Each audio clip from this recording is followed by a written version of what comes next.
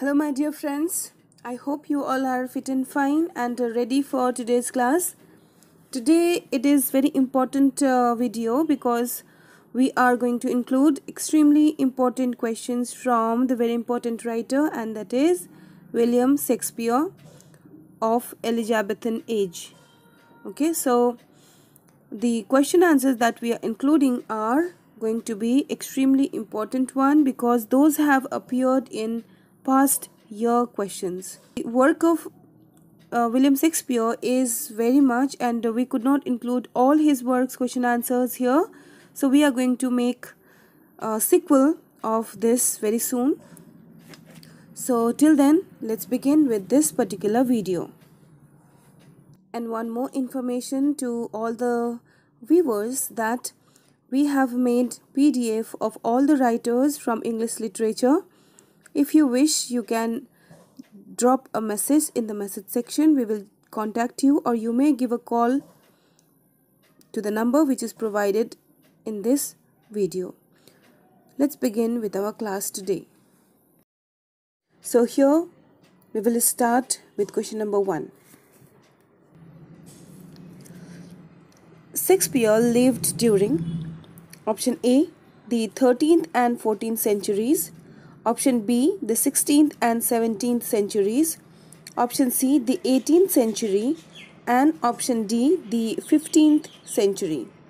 Your correct answer is option B, that is the 16th and 17th century. Let's see the highlighters. William Shakespeare is often called the world's greatest playwright he wrote comedies, tragedies, and historical plays in England in the last part of the 16th century and the early 19th sorry 17th century. William Shakespeare was born in 1564 in the English town of Stratford upon Avon. Shakespeare lived from 1567 to 1616. Let's move ahead.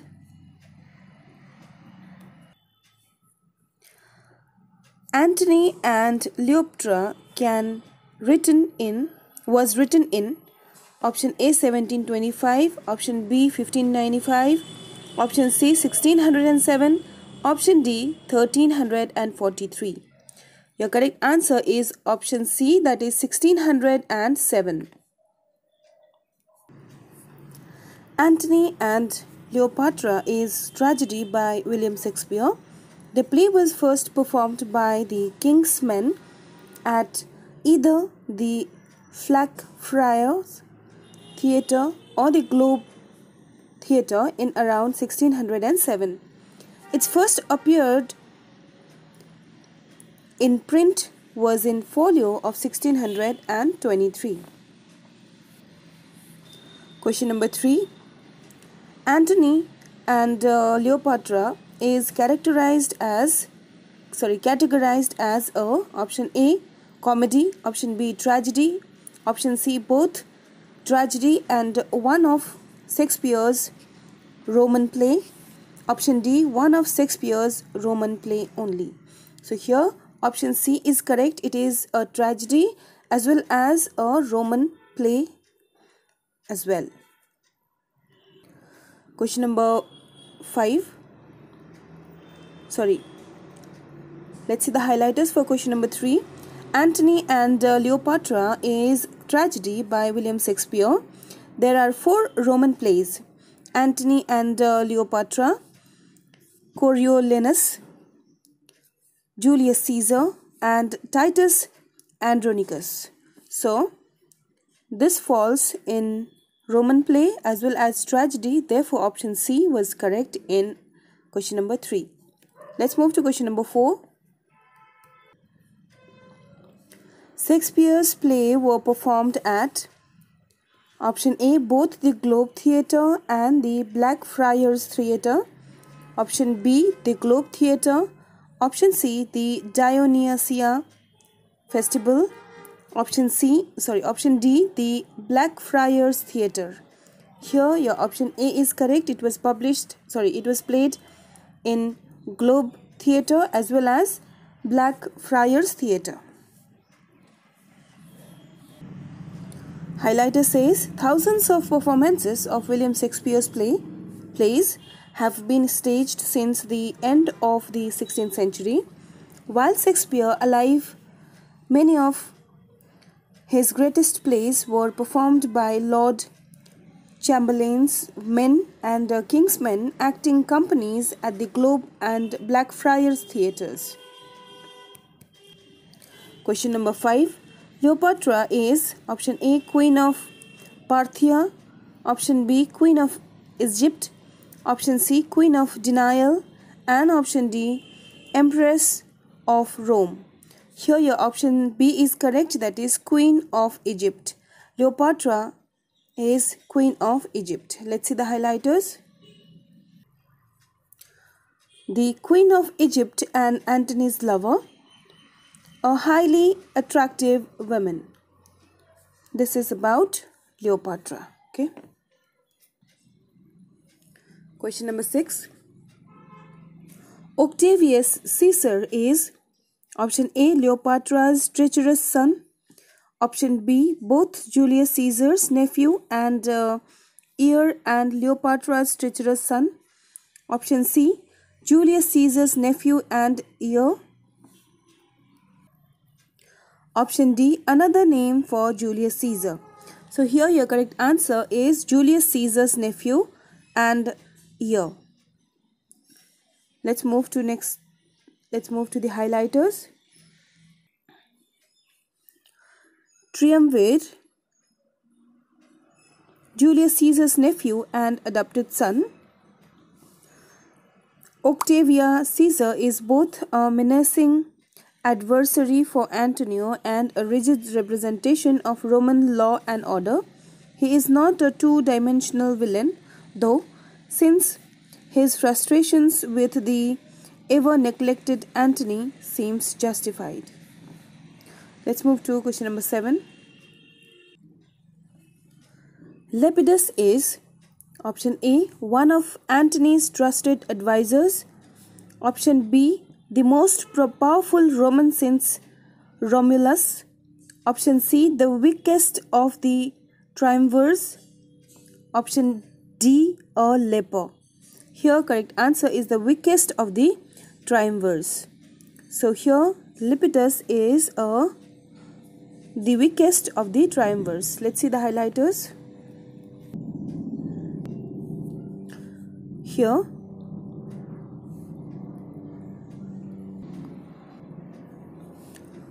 Triumvir, the lame duck of triumvirate, Lepidus is not a serious contender of power. Let's move to question number 8 now. Question number 8 Demetrius Enobarbus is option A a eunuch in Cleopatra's court. Option B Antony's friend and a cynical observer of events. Option C, one of Antony's favorite slaves. Option D, Octavius Sona's slave. So here correct answer is option B, Antony's friend and a cynical observer of events. Let's see the highlighters. His friend of Antony, an officer, one of Antony's closest friends and supporters. Enobarbus is a cynical observer of the events of the play, disapproving of Antony, often but always speaking about a complex perspective. Let's move to question number 9. Charmian and Iras are option A Cleopatra's sisters, option B Cleopatra's ladies in waiting, Option C Virgin priestesses of Iris. Option D two of the Olympian gods. Here correct answer is option B that is Cleopatra's ladies in waiting. Let's move to the highlighters of this answer. Both an attendant on Cleopatra Charmian, the devoted lady waiting, follows her mistress even unto death. Her memorable last words are taken directly from Plutarch. Iras, another lady in waiting, saucy and high spirited. She also proves loyal enough to join her mistress in suicide. Here, let's move to question number 10 now. I hope this highlighter makes the answer of question number 9 clear. Let's see question number 10. William Shakespeare's main source for Antony and Cleopatra is the writer option A Judith Butler, option B Plutarch, option C Pliny, option D Seneca. Here answer is Plutarch. Shakespeare's main source for Antony and Cleopatra can sorry was Plutarch's Lives which was translated by Thomas North in 1579. Shakespeare ignored many of the historical events reported in Lives so that he could concentrate on the relationship between Antony and Cleopatra. Question number 11. Octavia is option A. Antony's sister-in-law. Option B. Both Octavius' sister and Lepidus' wife. Option C, Lepidus' wife. And option D, Octavius' sister. So here answer is she is Octavius' sister. Octavia is Octavius' sister. Octavia is Caesar's sister. She is offered as a wife to Antony to seal a bond between him and Caesar. Called pious and proper, she is every way the opposite of Cleopatra. Now we will move to question number 12, which is from the extremely crucial work of William Shakespeare, that is Hamlet. Hamlet is set in Sweden, Denmark, Scotland, and England. Here, answer is Denmark. Hamlet, set in Denmark, the play depicts Prince Hamlet and his revenge against his uncle Claudius, who has murdered Hamlet's father in order to seize his throne and marry Hamlet's mother. Question number 13 Hamlet is a option A princess, option B prince, option C fool, and option D king. Here you have to write Prince King uh, sorry Hamlet is a prince. And remember that father's name is also Hamlet but now he has become ghost so we cannot say that Hamlet is a king okay Hamlet the protagonist is prince Hamlet is the prince of Denmark nephew of usurping Claudius and son of King Hamlet, the previous king of Denmark. Question number 14. Hamlet's stepfather is also his grandfather. Option B, brother. Option C, nephew. And option D, uncle. It is none other than uncle. He is also uncle and later on he becomes a stepfather of Hamlet after killing his uh, father that is King Hamlet. Let's see the highlighters. King Claudius is a fictional character and the primary antagonist of William Shakespeare's tragedy Hamlet. Second husband to Gertrude. Gertrude is mother of Hamlet. Okay, and she becomes wife of Uncle Claudius. Alright, keep this in mind. An uncle and later stepfather to Prince Hamlet. He obtained the throne of Denmark by murdering his brother with poison and then marrying the late king's widow. I hope Hamlet is clear to everyone so it becomes very easy to understand these questions which are coming from play Hamlet. If not, you will find video on Hamlet which is made by us. Do visit that. Question number 15. The ghost is first spotted. Option A in Gertrude's chamber. Option B outside the castle. Option C in the graveyard. Option D on the deck of the ship. It is outside the castle where Hamlet and his friends, uh, his Hamlet's friends were giving their duty. Okay. The ghost of Hamlet's father is a character from William Shakespeare's play Hamlet. In stage directions, he is referred to as ghost. His name is also Hamlet. He is referred to as King Hamlet to distinguish him from the prince. The ghost is the ghost is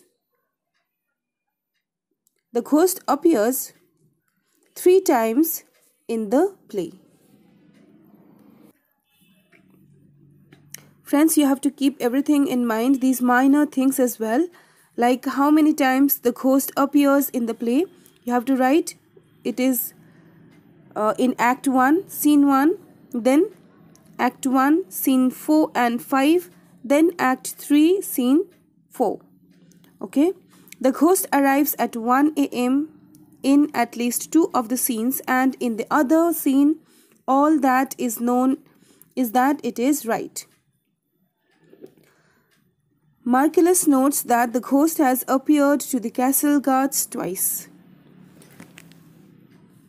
Okay, let's move ahead to question number 16.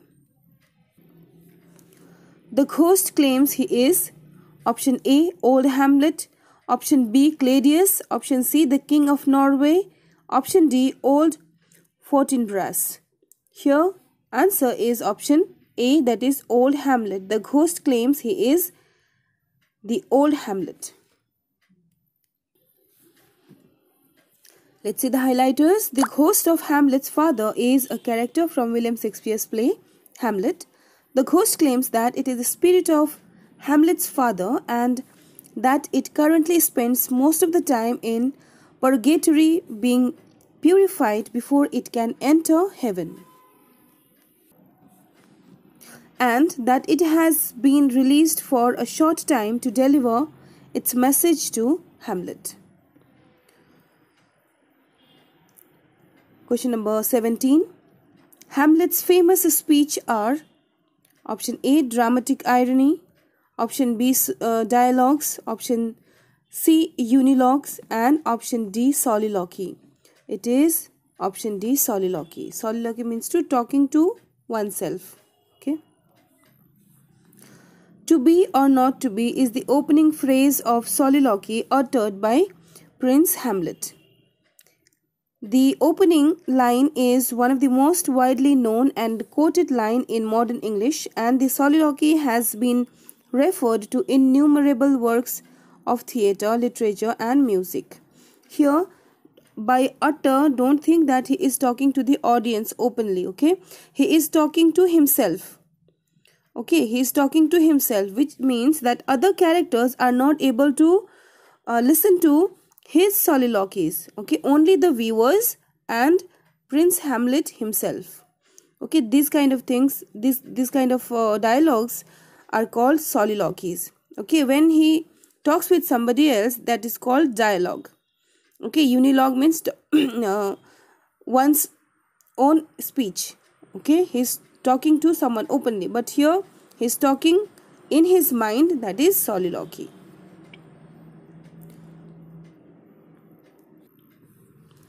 Who has hamlet professed love for? Option a ophelia gertrude rosencrantz guildenstern here ophelia is the correct answer. Gertrude is mother and uh, Therefore, A is correct answer.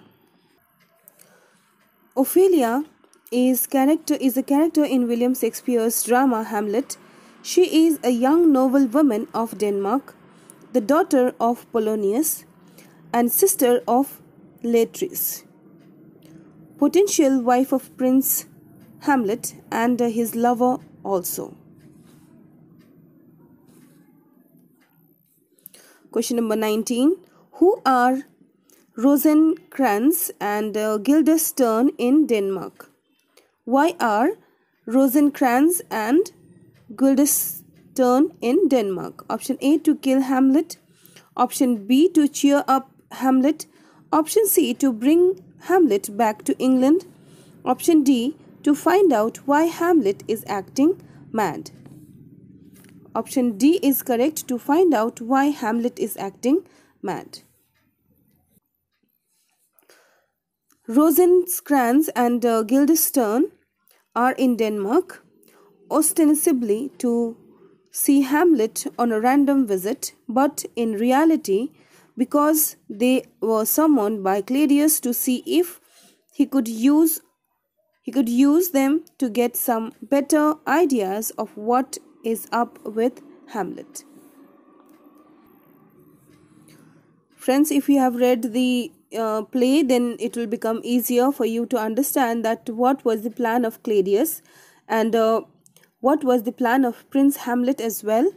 Okay, both the parties were making plans. Okay, Hamlet was making plan to kill Claudius and Claudius vice versa okay so here we find different mindset uh, which were trying to accomplish their plans okay let's move to question number 20 where does hamlet go to university? Option a france. Option b luxembourg. Option c germany. And option d england. So here answer is germany. It is set in 1517 at uh, Hamlet's alma mater, Wittenberg University in Germany. Friends, we will include more videos and more MCQs in our channel. For today, we will keep, we will wind up video out here. I wish you all the best. Do practice every day for success.